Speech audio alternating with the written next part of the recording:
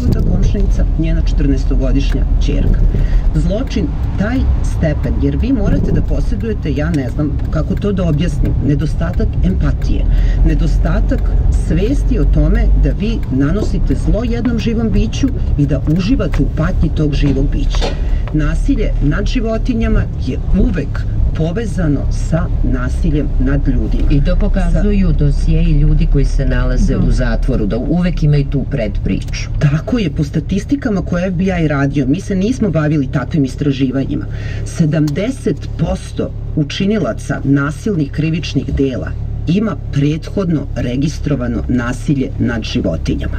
U našoj praksi smo imali slučajeve pre par godina Daniel Jakopek, da li se zvao ubica koji je Jeste. ubio svog druga i njegovog četvorogodišnjeg nećaka. Po tog Daniela kasnije pretresom kuće u dvorištu je nađeno na dvadesetine krvnički ubijenih i zlostavljanih mačaka, zakopanih. Niko se njima nije bavio, ne bi se ni bavio, da nije došlo do ovog monstruoznog zločina, pa je nakon toga usledio pretres Imali kuće. smo i slučaj psa Mile kojima su sve, koje su sve šape Šape bile odsečene. To, uh, sečene. tako je, ja ne znam, ja mislim da učinilac tog krivičnog dela nije pronađen. Ne mislite? Nikada Nije nije, pronađen. pronađen. Nije, Nije, nije. pronađen. Imali smo prošle godine zločin u Zaječaru kada je čovek ubio svoje dvogodišnje dete.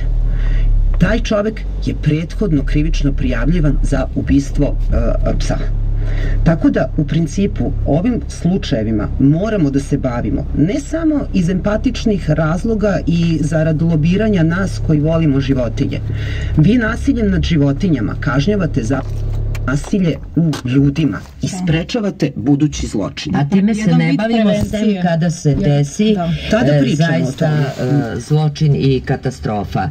E, sad bi vas, gospođa Miloradović Bjelica, pitala, evo jednog podatka, prošle godine putem policijske zaplene dve odrasle ženke mrk- mrkog medveda, mali kajman, veći